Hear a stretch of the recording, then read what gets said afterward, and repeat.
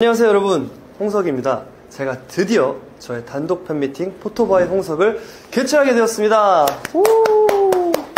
네, 에버라인과 함께하는 저의 팬미팅 포토바이 홍석은 2024년 4월 13일 토요일 흰 물결 아트센터 화이트홀에서 진행됩니다 저를 응원해주시는 여러분을 위해서 제가 다양하고 멋진 모습 많이 준비해 드릴 거니까 여러분 많이 오실 거죠?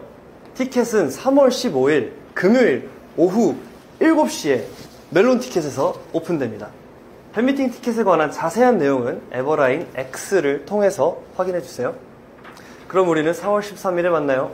안녕!